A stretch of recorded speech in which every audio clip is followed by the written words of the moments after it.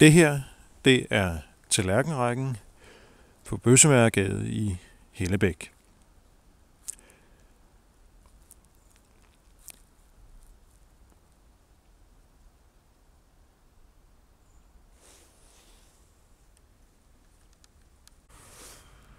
Erik nævner Kongens Mølle, og det er svært for mig at gengive den helt præcist. Øh, som I kan jo kan se, så er den øh, under kraftig renovering.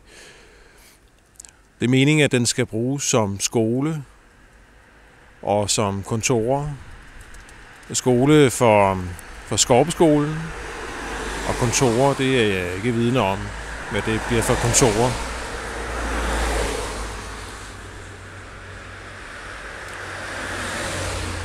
Aktuelt så øh, virker den byggeriet til at være gået lidt i stå. Jeg håber, at de får det afsluttet hurtigst muligt.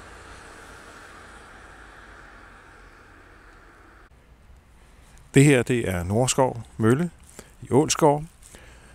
Det er den, som Peter Sandholt fra Hellebæl Ålskov Ejens Historiske Forening har, har taget initiativ til at sætte i stand, delvist i stand. Der er meget at gøre endnu, som jeg forstår, og øhm, der er også planer om, at den skal bruges som kulturhus for området her.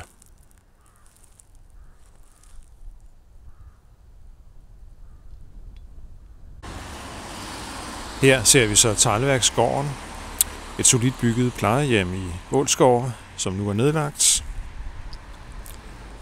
Og hvis jeg panorerer her hen til højre, Så ser man lidt af, af Ålskov og Ålskov centret lidt længere fremme.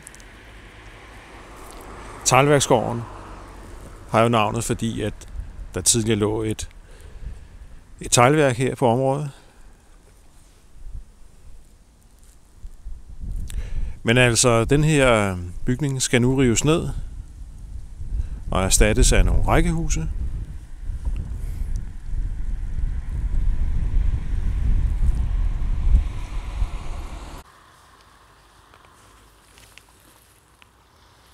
Her ser vi Langebro i Ulskov. Erik han nævner Langebro i interviewet, og jeg tror, han gjorde det, fordi at broen er så central i historien om Helebæk og Ålskov.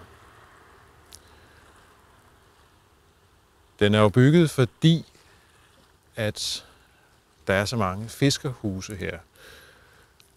Den har været brugt til fiskeri i området. Jeg har også selv fisket fra broen. Ikke med, med jolle. Jeg har ikke brugt den til at, at lægge til med nogen jolle. Jeg har stået og fisket med fiskestang ude for enden, da jeg var barn. Det har altid været muligt at fange fladfisk og torsk, småtorsk, for broen. Og så ligger den godt. Vi har Kulden og Sverige, som sagt, over på den anden side. Det er, har altid været et mål, også når man kom hertil øhm, med kajak, og så ro tilbage igen til Helsingør. Broen den kan ses fra Helsingør af, og er altid et godt pejlepunkt i den forbindelse.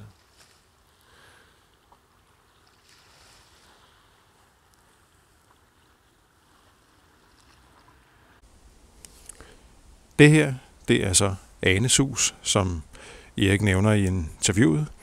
Og øhm, ude til højre, så ser vi Bøgeholmsøen.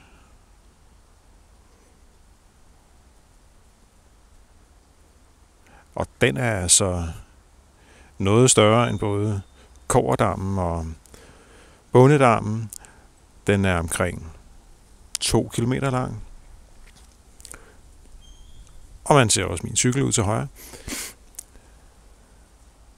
Nu ligger Anes hus jo temmelig tæt på Ålskov, men i gamle dage, så har det her været rigtig langt ude på landet.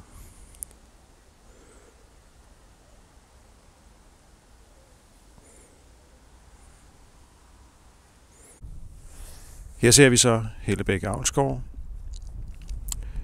Den har tidligere huset hjemmeværnet. Over på den anden side, ikke mere end et par hundrede meter væk, der ligger der en bunker, hvor regeringen og dronningen skal bo i tilfælde af en krig, der gør det nødvendigt.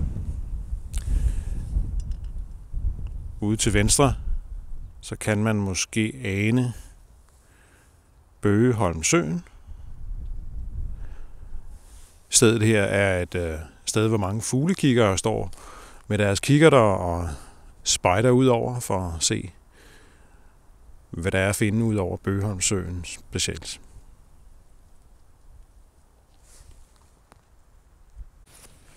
Det her, det er turbinehuset, som Erik nævner i interviewet. Over bagved, der ligger noget, der hedder Hammergården. Det er nogle tidligere arbejderboliger til en geværfabrik, som lå lige netop her, hvor, hvor turbinehuset nu ligger i dag. Det er resterne af det her, den her geværfabrik. Øh, det er turbinehuset simpelthen. Den ligger nede i et hul, og, og søen ligger opdæmmet. Det vil sige, det er bondedammen, der ligger her til højre.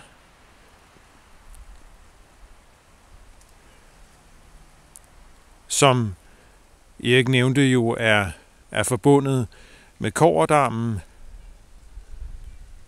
Hvide Lykkedam, og fra bunddammen, der løber så en å ned til, til øh, Øresund.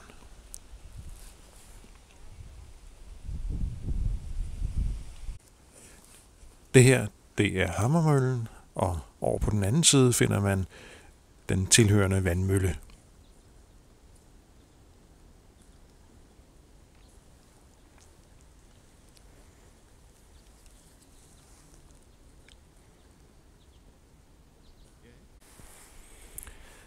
Jeg er nu kommet til Sortesø, som ligger lige her op af Klaresø. Den ligger ikke mere end 50 meter væk.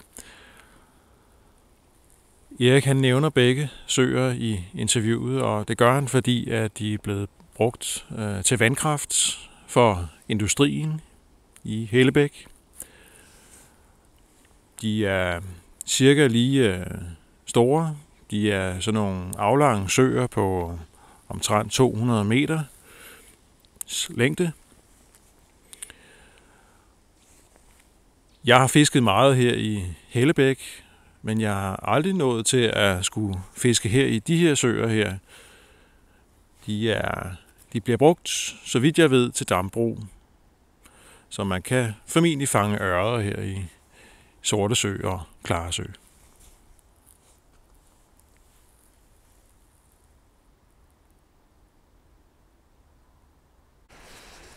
Ja, nu er det faktisk blevet mørkt, og øh, jeg er taget ned til Strandvejen, øh, fordi øh, i interviewet der nævnte Erik øh, en tennisbane og et øh, sommerhus, der var blevet sat i stand. Jeg kan godt huske øh, tennisbanen. Øh, gennem hele mit liv, øh, der har jeg jo kørt forbi og, og set, at den bare har lige noget, der var løgn for sit liv. Og lige pludselig her efter 40 år, så, så beslutter nogen sig for at renovere den. Og det er simpelthen blevet øh, øh, Danmarks øh, bedst beliggende øh, tennisbane, det må, jeg, det må jeg sige. Det er den, man ser øh, lige frem. Nu kan man ikke rigtig se den ordentligt, fordi det er så mørkt, øh, men, men så har jeg jo, kan jeg jo så benytte øh, lejligheden til at vise noget andet, som vi kommer til. Vi kan måske lige se sommerhuset.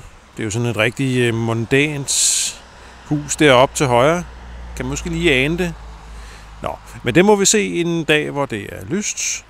Det jeg gerne ville vise, det var jo herude til venstre, fordi der ligger Øresund jo.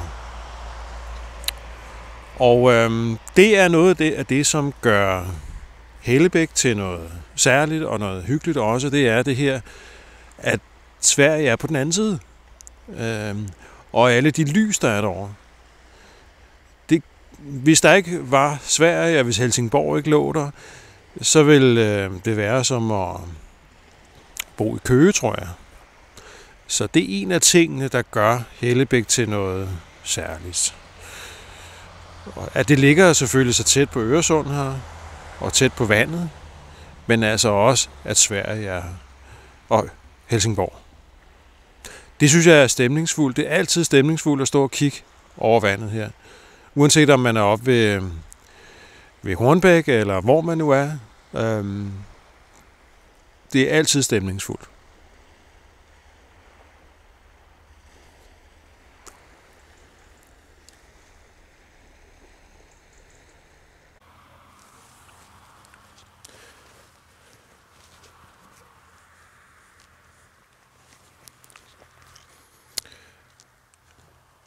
Det her, det er Hellebæk Gård.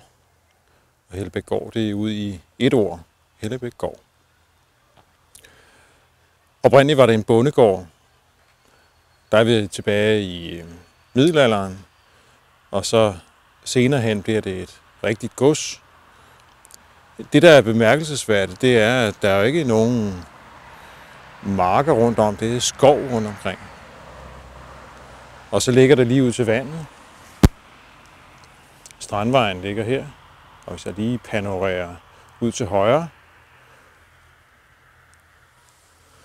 og så skal jeg lige sørge for at pege kameraet lidt ned her, og ændre lidt i lyset, så kan man se strandvejen, og man kan se Øresund og Sverige over på den anden side. Meget stille og rolig dag, under 5 sekundmeter. Og så panorerer jeg lige tilbage til, til Hellebæk Gård, som i dag er Skorpeskolen. Det er i dag en privatskole, og det er der for lyse, som, så vi kan se bygningen ordentligt. Det er en privatskole i dag. Det startede som, øh, som det kongelige opfostringshus i 50'erne. Øh, og Troels Kløvedal, ham sejleren, han har gået her tilbage i 50'erne. Jeg vil gerne have talt med ham om omkring det, at, at han har gået her. Men han er, har det ikke så godt i øjeblikket. Han har beskrevet sine oplevelser her på det kongelige opfostringshus øh, i en bog, der hedder Den tynde hud. Historien om, øh, om det, det, den her Hellebækgård er, at, at øh, den har været ejet af den Schimmelmannske familie, en tysk familie, Schimmelmann, og så øh, blev den overtaget af staten lige efter krigen, efter lov om øhm, overtagelse af tysk og japansk ejendom.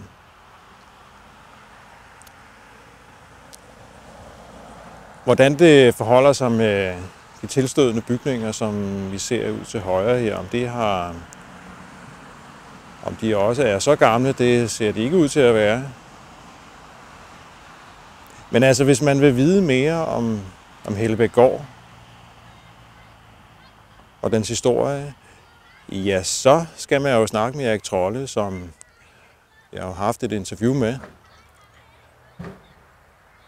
Der er mange ting, jeg har undret mig over ved Hellebæk, siden øh, at jeg har været vokset op her i området og gået forbi de her steder. Og og så er det rart, at der er sådan en som Erik, som kan, kan fortælle om baggrundshistorien.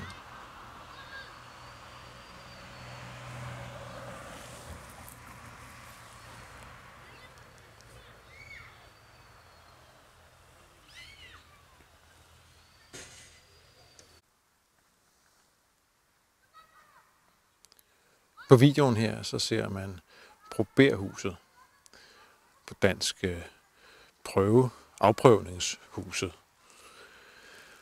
Og det var her, man afprøvede gevær. Og der snakker vi før 1870. Så det er altså en, en gammel svend, vi står overfor her. Arbejderboligerne på tallerkenrækken ligger lige overfor, og dem kan man se, hvis jeg panorerer over til højre.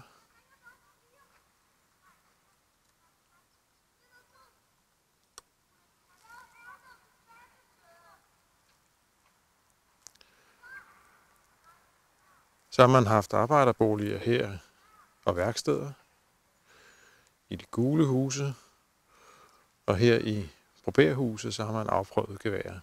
Jeg har engang været inde i, i huset her på endevæggen, så ser man sådan en ret så tyk mur med en masse huller i. Og det er så her, man har simpelthen skudt ind i væggen for at se, hvordan geværerne de, de virkede, om de var okay.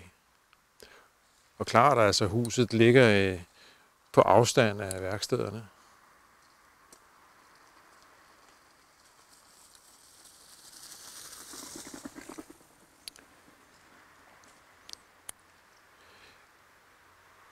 For så vidt jeg ved, så bruges huset ikke til noget i dag. Dengang jeg var inde i huset, så, så blev det brugt som opbevaring til nogle effekter, som øh, blev brugt over ved, ved Hammermøllen i forbindelse med noget, noget festivitas derovre. Og så hjalp jeg med at, at få, få de her effekter ud og få det transporteret over til Hammermøllen. Men i dag så står huset jo bare her og er historisk interessant